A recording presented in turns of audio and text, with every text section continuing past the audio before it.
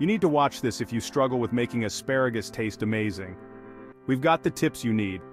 Asparagus has a unique taste that's often described as earthy and slightly nutty. When cooked just right, it has a tender but crisp texture. The trick to unlocking its flavor? It's all about preparation. First, make sure to snap off the woody ends. They're tough and not so tasty. Next, try roasting or grilling your asparagus with a bit of olive oil, salt and pepper. This simple seasoning brings out its natural sweetness.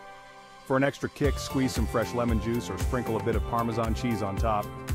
Trust me, it makes a world of difference. Want to take it up a notch? Wrap your asparagus in bacon before roasting. The salty, smoky flavor pairs perfectly with the veggie's natural taste.